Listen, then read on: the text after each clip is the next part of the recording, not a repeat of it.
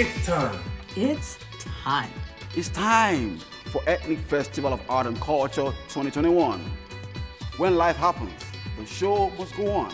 The Torch Limited presents Ethnik Festival of Arts and Culture, the global online edition, February 26th and 27th, featuring America's Got Talent alumni and contortionist Troy James, Canadian boss lady and CEO Kingi Koyaki, Vivian Kai, award-winning author, film director, screenwriter and playwright Sherry Fogo, and all the local talents and community organizations.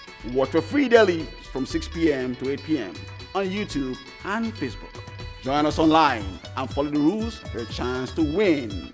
Visit ethnikfestivals.com slash happening slash for more juicy details.